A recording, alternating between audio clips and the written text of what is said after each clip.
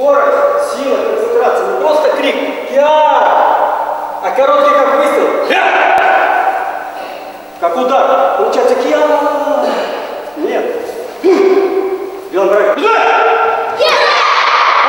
Чтобы сделать настоящий кия, нужны сила, скорость и концентрация. Азы боевого искусства для самых маленьких каратистов преподает сенсей Сергей Стрижак. Юные бойцы, как желторотые птенцы, внемлют каждому слову мастера.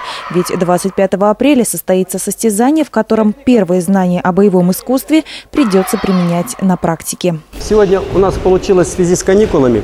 А, У нас получилась первая группа, это вот начинающие, которые только получили желтые пояса, в марте они аттестовывались, они получили желтые пояса.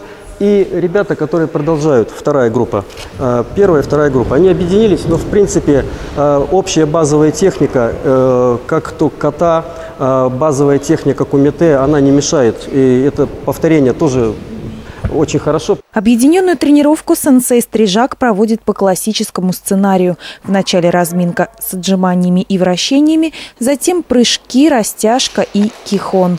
В спортивном зале Одинцовской гимназии номер 14 Сергей Стрижак преподает карате с середины 90-х годов. Один из его самых первых учеников сегодня в зале. Студент финансовой академии, обладатель черного пояса по карате Иван Сидоров демонстрирует ката. На такую высокую ступень мастерства юным каратистам еще предстоит подняться, если будут следовать советам тренера. В традиционном карате ставка делается на один удар. А Чем отличается традиционное карате того же ВУКО, э, где там э, главное ВУКО показать удар, коснуться соперника и убрать руку. В традиционном карате этого нет. Почему? Потому что в традиционном карате кумите проходит без возрастных категорий. То есть я 64 килограмма, против меня выйдет соперник 120 килограмм. Если я буду вот так вот э, махать руками, то сила удара кулака в традиционном карате достигает 300 килограмм. Сила удара ногой – тонны. Отжиманием, правильным отжиманием мы настраиваем себя и готовим себя к поединкам и набиваем руки.